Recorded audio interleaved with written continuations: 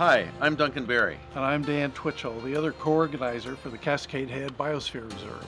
These biospheres are an experiment in how to balance economy with ecology, a place where humans and the natural environment can interact in a different way.